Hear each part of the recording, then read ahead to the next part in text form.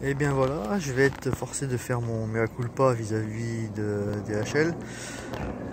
Le colis initialement prévu pour le 5 mars euh, qui était parti sur Lyon et en fin de compte arrivé le 3 mars. Donc euh, nickel, on va s'y mettre. C'est bel et bien un matériel spécifique pour le milieu humide.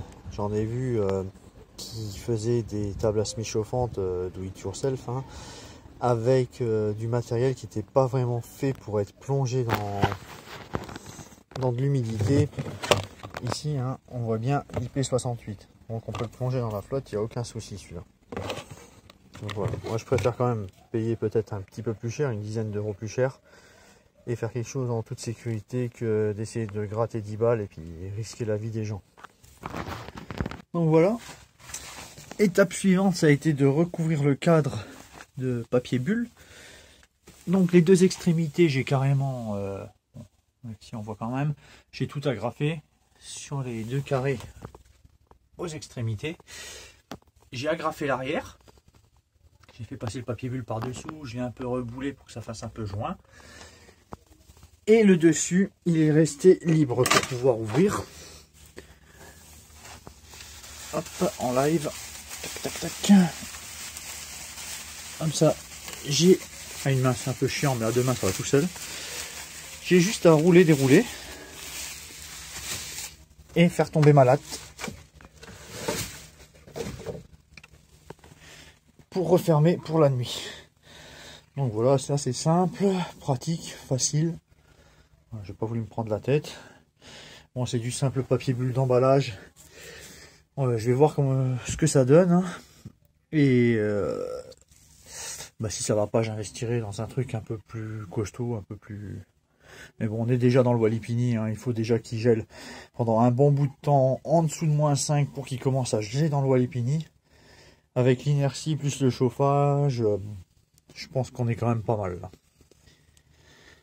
Ensuite, ben, il faut étaler le cordon chauffant le plus uniformément possible, en essayant de garder les écarts euh, à chaque fois. Et il doit surtout pas se croiser. Donc là, ben, j'ai fait une espèce de serpentin à l'œil. la vue, c'est pas la meilleure de mes qualités. Hein. Généralement, je fais tout au mètre, c'est pas pour rien. voilà, là, j'ai laissé toute l'après-midi au soleil pour qu'il soit un peu plus souple et tout. Et même comme ça, c'était un petit peu galère. Donc voilà, je vais recouvrir ça. Quelques centimètres, un centimètre et demi de sable à peu près. Et ce sera prêt pour faire chauffer dans un premier temps, euh, je vais le mettre sur programmateur. Ils annoncent des nuits encore. Là, ce matin, j'ai gratté, il faisait moins 3. Donc, euh, je vais faire chauffer à partir de 11h le soir jusqu'à 5h du matin. Après, ben, l'inertie jusqu'au lever du soleil devrait suffire pour empêcher les gelées. Et dans un deuxième temps, j'ai commandé sur un autre site, parce que le site allemand sur lequel j'ai commandé n'en avait plus, une sonde avec un, relais thermique, quoi, avec un relais.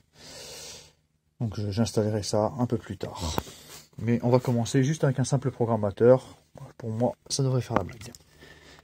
Bon, un autre conseil, il faut toujours lire la notice avant de mettre quelque chose en place. Et je viens de lire que le premier mètre n'était pas chauffant. Donc, j'ai tout redéplacé pour euh, remettre euh, un mètre de cordon hors du bac. Ça me paraissait un peu bizarre la prise aussi à proximité du bac de SMI. Donc bah voilà pourquoi c'était bizarre, parce que ça se fait pas. Il y a un mètre qui est non chauffant. Donc je crois que je me suis un peu fait enfler parce qu'apparemment il y avait sur le site c'était marqué 10 mètres de cordon chauffant plus un mètre de, de non chauffant. Ou alors j'ai mal compris, mais en fin de compte il n'y a que 9 mètres qui chauffent. Bon, c'est pas grave, hein, c'est juste une question d'ajustement. Au lieu d'avoir 5 cm, j'ai 8 cm entre chaque, euh, chaque trame. Voilà. Autre chose, bon, là, moi je suis dans l'électronique, je suis au courant, mais peut-être beaucoup d'entre vous ne savent pas. Euh, ce type de cordon, il faut faire attention au rayon de courbure. Il faut jamais trop le plier fort. Il faut faire des beaux arcs de cercle et pas s'amuser à les plier au carré et les plier sur eux-mêmes. C'est super mauvais et ça les bousille. C'est comme euh, pour, euh, pour les coax en, en, électronique. quoi. Et deuxième chose, le cordon ne doit jamais se croiser, je crois que j'ai déjà dit parce que ça peut provoquer des risques de surchauffe. Donc voilà, maintenant je vais pour de bon mettre ma couche de sable par-dessus. Et donc voilà. Donc j'ai recouvert de sable. J'ai mis mon programmateur. Donc il sera en fonction à partir de 23h et ça marchera une demi-heure. Stopper une demi-heure, marcher une demi-heure, stopper une demi-heure. Euh, à l'intérieur, pour surveiller la température, j'ai mis le petit thermostat que j'avais en bas du Walipini. Bon, il est à 14, c'est la température d'en bas. Il y a une certaine inertie.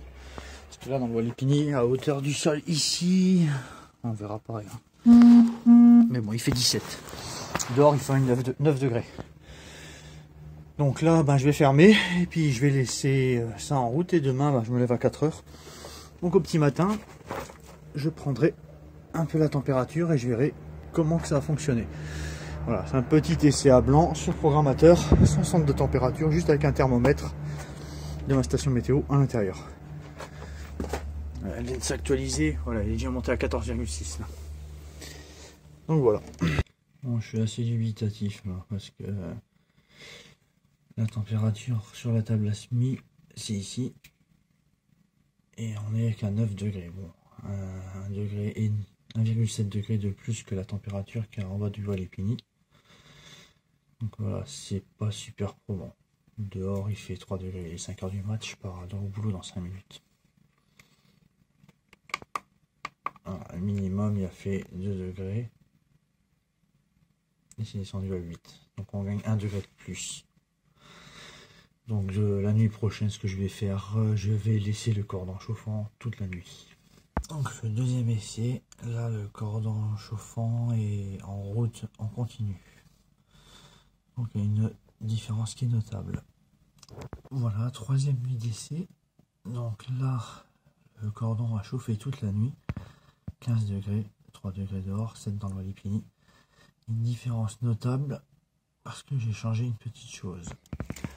Donc voilà, dans la vidéo de ce matin, je vous montrais la température qui était bien meilleure. Et pourquoi la température est bien meilleure? Tout simplement parce qu'en fait, par-dessus, j'ai mis de la bâche à bulles bien plus épaisse. Voilà. Je sais pas si on verra bien, mais là on a des bulles qui font quasiment un centimètre d'épaisseur. Donc euh, c'est un de nos sous-traitants qui nous a renvoyé un appareil. Et donc il avait emballé l'appareil en même temps, hein, je suis dans l'électronique, je le répète. Et c'est beaucoup beaucoup beaucoup mieux que la cochonnerie qu'on avait euh, qu'on achète euh, dans les magasins. Hein, le petit papier bulle, là c'est des bulles qui font à peine 3 mm, euh, la bâche elle a aucune épaisseur, ça retient aucunement la chaleur. Mais ça par contre, ça ça c'est efficace. Donc là j'ai mis comme ça un peu dessus à la à l'arrache parce que ben là il fait très froid dehors en fait. Hein. Bon ça n'a pas l'air parce que le soleil il brille, mais bon dehors il fait de l'ordre de 6 degrés. Je suis rentré du boulot à 11h, il faisait 4 degrés. Et un vent glacial. Et petite nouveauté aussi, j'ai reçu ce matin mon programmateur de mon régulateur quoi. Donc voilà, je sais pas si on voit bien. Hop. Donc là j'ai 24 degrés à l'intérieur. Donc ce petit système est bien sympathique parce qu'on peut régler une température pour la nuit et une température pour le jour. Donc euh, maintenant j'ai mon cordon chauffant qui est branché euh, tout le temps et ça régule automatiquement. Donc moi j'ai marqué 15 euh, degrés pour la nuit. Si ça descend 2 degrés en dessous de 15 degrés, le cordon se remet en route jusqu'à ce que la consigne soit atteinte et il se coupe automatiquement dès qu'elle est atteinte. Et la journée j'ai mis 23 degrés je crois ou quelque chose comme ça. Donc voilà, hein, j'affinerai ensuite, mais bon c'est pas mal parce qu'il y a deux modes de travail, donc un mode nuit et un mode jour. Donc moi la, journée j'ai mis une consigne de 23 degrés ici dans le Walipini, alors je sais pas combien il fait. Moi il fait 15 degrés. 15 hein. degrés, alors que dehors il fait pas mal froid.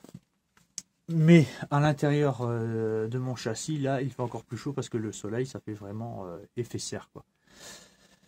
Donc c'est pour ça, il y a, il y a deux timers, il y a deux, deux programmations distinctes et je trouve ça super pratique. Bon donc voilà pour cette vidéo. Je vous ai partagé ce qui allait bien comme mes conneries. Hein. De toute façon c'est sans filtre hein, au fur et à mesure que j'avance et que je me rends compte que les choses ne vont pas comme le papier bulle trop fin par exemple. Bah, je vous le dis. Donc là ben, j'ai semé euh, pas mal de choses. Hein. Euh, c'est du maïs à éclater, il y a du glass game, du red strawberry, euh, plusieurs types de tomates, hein, de la Saint-Pierre, d'accord de bœuf de Nice, euh, des tomates cerises. Ici on a des œillets d'Inde. Ici j'ai quelques aubergines, j'en fais pas beaucoup parce que bon les aubergines j'aime bien mais sans plus quoi. Et là mes petits pois. Donc c'est pas mal rempli. Alors les petits pois avant je les mettais en pleine terre directement avec une bâche de forçage, j'attendais que ça lève, mais euh, entre les rongeurs, les limaces et tout, c'était les trois quarts du temps un carnage. Donc cette année, j'ai décidé de faire comme ça, de les faire lever ici, de les faire germer dans la table à semis et de les remettre en pleine terre euh, quand ils seront assez grands. Et ils seront aussitôt remplacés par les courgettes et les concombres dans la table à semis. Donc voilà, j'espère que cette vidéo vous aura intéressé, vous aura servi. Puis n'hésitez pas si vous avez des commentaires, hein, j'essaye toujours de répondre aux commentaires. Allez, à plus